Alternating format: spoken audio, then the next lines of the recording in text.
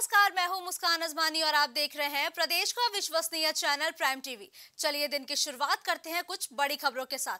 संभल में जिला अध्यक्ष विजय शर्मा के नेतृत्व में सैकड़ों कांग्रेस कार्यकर्ताओं ने दिल्ली पहुंचकर पूर्व अध्यक्ष और कांग्रेस नेता राहुल गांधी के समर्थन में कल प्रदर्शन किया। कांग्रेसियों ने केंद्र सरकार के खिलाफ नारेबाजी करते हुए कहा कि ये सरकार कांग्रेस पार्टी और उनके नेताओं को बदनाम करने की कोशिश कर रही है। आपको बता दें कि हेराल्ड मामले में ईडी ने राहुल से सोमवार को करीब 10 घंटे तक पूछताछ की। राहुल से हुई लंबी पूछताछ से कांग्रेस बिफर गए, जिसके बाद बीते दिनों कई जगहों से प्रदर्शन की खबरें सामने आई थी।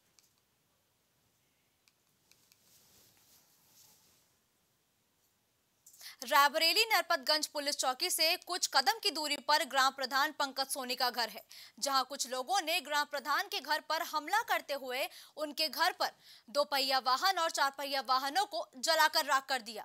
वह जब ग्रामीणों ने प्रधान के घर से आग की लपटे उठती देखी तो आनंद फानन में उन्होंने पुलिस को इस पूरे मामले की जानकारी दी।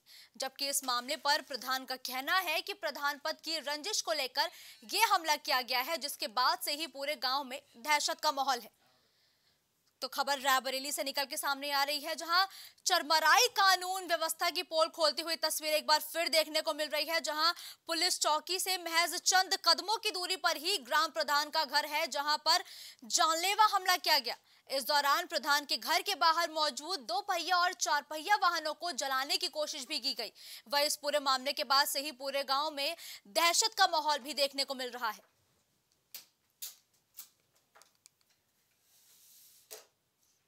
हरदोई में पिहानी ब्लॉक के बिजगवा में पूर्व प्रधान की जाँच भ्रष्टाचार की भेंट चढ़ती नज़र आ रही है। करीब नौ महीने बाद शुरू हुई जाँच पारदर्शिता के साथ नहीं करने का अधिकारियों पर आरोप लग रहा है। जिला उद्यान अधिकारी और सहायक अभियंता नलकूप द्वारा बिजगवा की स्थलीय जाँच की गई, लेकिन कहा गया की बिना अभिलेख के सादे कागज़ पर जाँच की जा रही है, जिसमें ग्राम विकास अधिकारी विमलेश वर्मा और पूर्व प्रधान द्वारा बिना बिल, बाउचर और अभिलेखों के जाँच कराई जा रही है।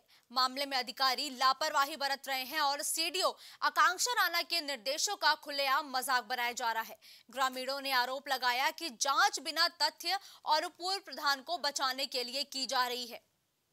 खबर हरदोई से सामने आ रही है, जहाँ पूर्व प्रधान बिजगवा की जाँच के मामले में जो अधिकारी हैं वो लगातार लापरवाही बरतते हुए नज़र आ रहे हैं। साथ ही साथ ग्रामीणों ने इस दौरान ये भी आरोप लगाया है कि जाँच बिना तथ्य और पूर्व प्रधान को बचाने के लिए की जा रही है। साथ ही साथ सीडीओ आकांक्षा राणा के निर्देशों का भी खुलेआम अधिकारियों द्वारा मज़ाक बनाया जा रहा है, जिससे वो पूर्व प्रधान को बचा सके। इस खबर पर ज़्यादा जानकारी के लिए हमारे संवाददाता हर्षराज सिंह जुड़ चुके हैं। हर्षराज हरदोई में जो भ्रष्टाचार का मामला निकल के सामने आ रहा है जिसमें अधिकारी लगातार पूर्व प्रधान को बचाते हुए नज़र आ रहे हैं तो क्या कुछ है ये पूरा मामला? नौ माह से जो शिकायत करता है वो शिकायत लगातार कर रहे थे लेकिन इस पे कोई सुनवाई नहीं हो रही थी। शिकायतकर्ता ने मुख्यमंत्री के सामने पेश होकर शिकायत की थी उसके बाद यहाँ की जो सीडीओ इन्होंने संज्ञान लिया ये नौ माह बाद इन्होंने एक लेटर जारी करके इस पे जाँच बैठा दी है जिसमें ये, ये जिला उद्यान अधिकारी जो सुरेश कुमार सिंह है तो इन्होंने वहाँ पे कल जाँच हुई होगी मौके पे लेकिन वहाँ पे बिल बाउचर अभिलेख उपलब्ध ही नहीं थे। एक सादे कागज़ पे जो काम दिए थे उनको नोट करके वहाँ पे स्थलीय जाँच की है इन्होंने। लेकिन ग्रामीणों का आरोप है अभिलेख से मिलान करके स्थलीय जाँच की जाए। हजराज आखिर इतनी बड़ी लापरवाही क्यों बरती जा रही है इस मामले को लेकर? कहीं न कहीं ग्रामीणों का कहना है कि इसमें भ्रष्टाचार से संलिप्त सारे जो। कर्मचारी हैं और प्रधान भी इसमें संलिप्त हैं इनको बचाने की कोशिश की जा रही है। जो। अभिलेख है और उनसे स्थलीय जाँच न करा के कहीं न कहीं इनको भ्रष्टाचार का बढ़ावा दिया जा रहा है और प्रधान और सेक्रेटरियों को बचाया जा रहा है। ग्रामीणों का कहना है कि इसमें छह सेक्रेटरी सम्मिलित हैं और पूर्व प्रधान को बचाने की पूरी कवायद चल रही है। लेकिन बराबर शिकायत होने के बावजूद भी उच्च अधिकारी संज्ञान नहीं देते हैं। हर्षराज, अब अब जैसे ये मामला निकल के सामने आ रहा है, लगातार इसकी वीडियो भी वायरल हो रही है तो अभी तक क्या कुछ कार्रवाई की गई है उन अधिकारियों के खिलाफ जो इस मामले में कोई एक्शन नहीं ले रहे हैं? अभी कुछ नहीं जो शिकायत करता है उनके बताने के मुताबिक तो ग्रामीणों ने जो जैसा बताया है कि उच्च अधिकारी का पर शिकायत करेंगे लेकिन उच्च अधिकारी भी कोई संज्ञान नहीं लेते हैं। जैसा कि मैं बता चुका हूँ शिकायतकर्ता ने नौ नौ माह पहले भी शिकायत की थी लेकिन यहाँ के सीडीओ और डीएम साहब कोई भी संज्ञान नहीं लेते हैं। जबकि मामला बहुत ही अगर गहन तरीके से जाँच की जाए तो इसमें बहुत अंदर से इसमें भ्रष्टाचार संलिप्त है। हर्षराज अगर अधिकारी ही ऐसे मामले की लीपापोती करते हुए नज़र आएँगे तो आखिर पीड़ित फिर किससे न्याय की गुहार जाके लगाएँ? यही तो मैं कहना चाहता हूँ कि कहा पीड़ित नौ माह बाद जाँच हो रही है। आप खुद देख देख सकते हैं नौ माह बाद जाँच हो रही है। लेकिन अधिकारी कोई भी संज्ञान लेने को तैयार नहीं है। ज़्यादा शिकायत करता है जब शिकायत की है तो सिर्फ़ लेटर पे एक जाँच चल रही है। वो भी मौके पे अभिलेख और बिल बाउचर है ही नहीं। अगर बिल बाउचर अभिलेख से जाँच कराई जाए तो कहीं न कहीं भ्रष्टाचार पूरा खुल जाएगा। इससे पूरा खुलासा होगा। हर्षराज आप इस खबर पर लगातार अपनी नज़र बनाए रखेगा फ़िलहाल हमारे साथ जानकारी साझा करने के लिए धन्यवाद। खबर औरैया से है जहाँ कार सवार लोगों ने 70 वर्षीय वृद्ध महिला से सोने की चेन लूट ली और फरार हो गए। पीड़ित ने घटना पर जानकारी देते हुए बताया कि एक पार्टी से होकर वो लौट रही थी। तभी कार सवार लोगों ने उसे घर छोड़ने की बात कहते हुए उसे कार में बिठा लिया और सुनसान जगह पर ले जाकर उसके सारे जेवरात उतरवा लिए। वही पीड़ित महिला ने इरवा कटरा थाने में पहुंचकर मामले की शिकायत की है। वही थाना अध्यक्ष राम सहाय पटेल ने बताया कि महिला की तहरीर के आधार पर अज्ञात व्यक्ति व्यक्तियों के खिलाफ मुकदमा दर्ज कर लिया गया है। जल्द ही आरोपियों को भी गिरफ़्तार कर लिया जाएगा।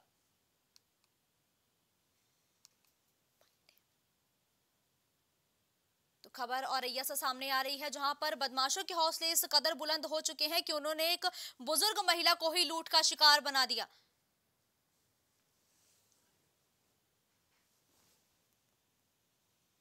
बच्चा है, ये कि हमारे हम जा रहे थे। कहाँ जा रही थी? बड़न तो मैं हम शरण मानते बैठे थे। तो एक गाड़ी वाले आ चार पहिया गाड़ी। उनने तो बताए हम तो कहाँ जाइए अम्मा? तो कहने हमें बैठा लो आओ बैठ ले। हम बैठ गए जब तो उसने चैन और बाला हमारे उतरा जाए गाड़ी में कितने लोग थे? तीन। तीन लोग थे। हाँ। गाड़ी किस कलर की गाड़ी थी? सिलेटी कलर।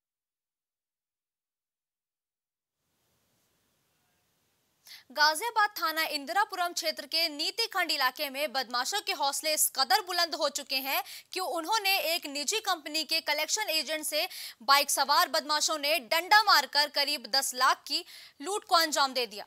वह इस मामले पर जानकारी मिलते ही मौके पर पहुँची पुलिस। मामले की जाँच पड़ताल में जुट गई है, जिसके लिए चार अलग अलग टीमें भी गठित कर दी गई हैं और जल्द ही आरोपियों की गिरफ्तारी भी पुलिस द्वारा कर ली जाएगी। कारण लगभग दस लाख से अधिक पैसा उस बैंक में है। वो अभी पूरा पैसा एग्जैक्ट अमाउंट हम कलेक्ट कर रहे हैं और बाकी सब चीज़ हमने देखा घटनास्थल का आसपास इलाका भी मौके पर हम चेक कर रहे हैं। सीसीटीवी फुटेजेस वगैरह हम लोग आना जाना वाला रास्ता में सभी चेक कर रहे हैं। साथ साथ जनपद में चेकिंग का आदेश भी किया है, जो संदिग्ध व्यक्ति है, उन लोग चेक करने के लिए। और हमने अभी चार टीम गठित कर ली है, जो पूरा घटना अनावरण करने के लिए। और जल्दी से जल्दी घटना सुल्तानपुर में मारपीट का एक वीडियो सोशल मीडिया पर वायरल हो रहा है। बताया जा रहा है कि जमीनी विवाद के चलते विपक्षियों ने पूरे परिवार की जमकर पिटाई की। फ़िलहाल इस मामले में पुलिस ने पीड़ित की तहरीर पर मुकदमा भी दर्ज कर लिया है। साथ ही मामले की जाँच पड़ताल में भी जुट गई है। वहीं मारपीट में घायल एक व्यक्ति का अभी भी जिला अस्पताल में इलाज चल रहा है। फरीदाबाद के सतपुरा इलाके में स्थित सावित्री ऑयल ट्रेडिंग कंपनी पर सीएम फ्लाइंग ने सूचना के आधार पर छापेमारी करते हुए वहाँ से पैकिंग किए जाने वाले राइस ऑयल, मस्टर्ड ऑयल और तिल के तेल के सैंपल लेने के बाद उन्हें जाँच के लिए भेज दिया है। वह इस दौरान सीएम फ्लाइंग के अधिकारी ने बताया कि उन्हें सूचना मिल रही थी कि यहाँ पर ऑयल पैकिंग की जाती है। इसी आधार पर उन्होंने स्वास्थ्य विभाग की टीम के साथ छापेमारी करते हुए तेलों के सैंपल लिए हैं, जिन्हें जाँच के लिए भी भेज दिया गया है। एक सावित्री ट्रेडिंग कंपनी है यहाँ तिगांव रोड पे फरीदपुर के बाद सतपुरा के पहले तो एक सूचना मिली थी गुप्त तो उस पर हमारी टीम आई थी यहाँ पे डॉक्टर साहब को साथ लेके, जो फ़ूड सेफ्टी अफसर है उनको। तो जो बिल और वो सब चेक किए गए हैं तो बाकायदा जीएसटी वाले बिलों को कोई एम्बेजलमेंट पाई नहीं गई है। तो ये इनका जो अभी सैंपल डॉक्टर साहब ने भरे हैं, यहाँ पे तीन तरह के ब्रांड मतलब राइस ब्रांड ऑयल है तिल का तेल है और सरसों का तेल है जिसकी ये पैकिंग करके ट्रेडिंग करते हैं यहाँ पे। यहाँ तेल बनता नहीं है। ये तेल बल्क में खरीदते हैं और उसको पैक करके आगे बेचते हैं। मामला क्या सैम्पलिंग हो रही है बस और क्या ये बात है? मस्टर्ड ऑयल की रिफाइंड की और कुछ नहीं है? अच्छा काफ़ी ब्रांड पाए गए हैं ब्रांड मेरे सब जेनुअन है अपने एड्रेस पे है। बलरामपुर में पानी के लिए दो सगे भाइयों की गोली मारने वाले ग्राम प्रधान को आखिरकार पुलिस ने गिरफ़्तार कर लिया। गिरफ़्तार प्रधान के पास से अवैध देसी असलाहा भी बरामद किया गया है। थाना देहात के ग्राम इमलिया में घटित घटना में राजकुमार नाम के एक युवक की मौत हो गई थी, जबकि शिव कुमार गंभीर रूप से घायल हो गया था। आपको बता दें कि बीते कुछ दिनों से प्रधान सुनील बाबा ने ट्यूबवेल का सरकारी पानी रोक दिया था और इसी को लेकर काफ़ी विवाद हुआ था। वहीं मामले पर पुलिस अधीक्षक राजेश सक्सेना का कहना है कि सीओ सिटी वरुण मिश्रा के नेतृत्व में बेहतर काम करते हुए मुख्य आरोपी को गिरफ़्तार कर लिया गया है। उसके पास से पुलिस ने अवैध तमंचा व कारतूस भी अब जब्त कर लिया है।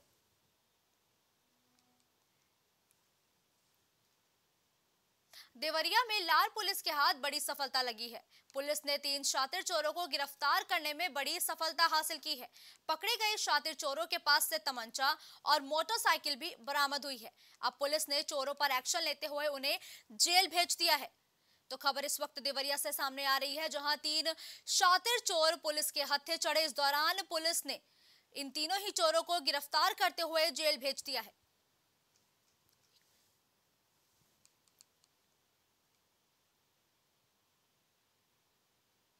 शाहजहांपुर के सदर बाज़ार थाना क्षेत्र के मोहल्ला बाटजई प्रथम में मल्हार टाकीज पर रखे ट्रांसफार्मर में भीषण आग लग गई। आग की वजह से पास में खड़ी कार भी उसकी चपेट में आ गई। वही घटना की जानकारी मौके पर बिजली विभाग और फायर ब्रिगेड की टीम को दी गई। सूचना पर पहुँचे दमकल कर्मियों ने कड़ी मशक्कत के बाद आग पर काबू भी पा लिया। इस बिल्डिंग में भारी नुकसान हो गया है, काफ़ी बिल्डिंग जल गई है और हमारी गाड़ी खड़ी थी आल्टो। उसमें काफ़ी नुकसान हो गया, वो काफ़ी जल गई है। ये ट्रांसफार्मर अभी दो ढाई साल पहले लगा लगभग सब मोहल्ले वालों ने मिलके लगवा दिया था ट्रांसफार्मर अब हमारी गवर्नमेंट से ये रिक्वेस्ट है, हमारे खन्ना जी से रिक्वेस्ट है कि इसको हटवा दिया जाए जैसे आगे वाले भविष्य में किसी का कोई नुकसान न हो।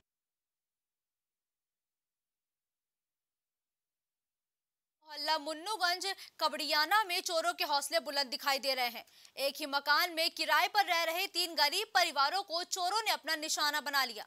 चोरों ने मकान में कमरों के ताले तोड़कर अलमारी बक्से से सारा सामान निकाल लिया। फ़िलहाल पीड़ित परिवारों ने डायल 112 पर मामले की सूचना दे दी है। वही मौके पर पहुँची डायल 112 जाँच पड़ताल में अब जुट गई है। मुन्नूगंज। अच्छा क्या हुआ है आपके यहाँ? चोरी हो गई हमारे घर। लगभग कितने का सामान चोरी हुआ होगा? चोरी लगभग हो गया चालीस हज़ार का एक एक घर में चालीस हज़ार का हुआ है। कितने घरों में सब चोरी हुई? चार घरों में हुई है। अच्छा इससे पहले भी कहीं कभी चोरी हुई है? हाँ एक बार और हो चुकी है तो बहुत पैसा गया था बुंदे उंदे झुमकी उमकी सब चली गई थी। अच्छा इस बारे में कोई पुलिस को इतला दिया आपने? पुलिस को दिया मगर पुलिस आई देख के चली गई कुछ नहीं करा। ताज मुन्नूगंज में। क्या हुआ आपके यहाँ? चोरी हो गई। अच्छा आपके पड़ोस में और भी लोग रहते हैं मकान में? क्या उन लोगों के यहाँ भी हुई हमारे दो घर में वो सारे कमरे में ताले तोड़े हमारे दो घर में जो है बाली निकल गई पैसे निकल गए वो लके थी वो सब ले गए। लगभग लगभग ऐसे ही होएगा दस हज़ार करीब। एक तरफ़ का बाली हो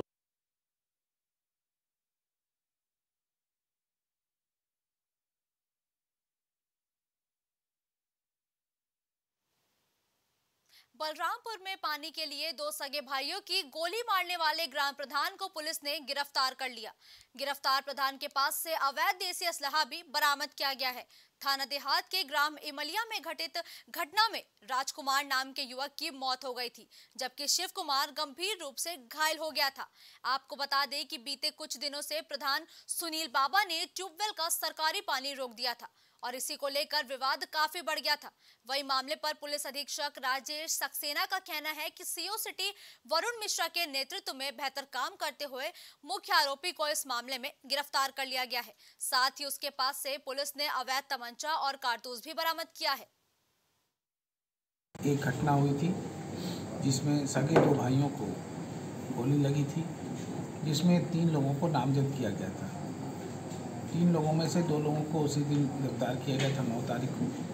और एक को कल हम लोगों ने गिरफ़्तार किया है वटिया बाईपास से, जिसमें मुख्य अभियुक्त हैं। ये सुनील कुमार जायसवाल उर्फ़ बाबा, ये ग्राम प्रधान भी हैं उस गाँव के।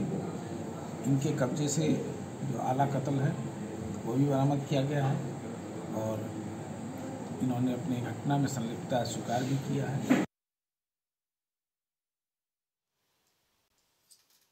फ़िलहाल हमारे इस बुलेटिन में इतना ही। देश और प्रदेश की तमाम बड़ी खबरों के लिए आप देखते रहिए प्राइम टीवी।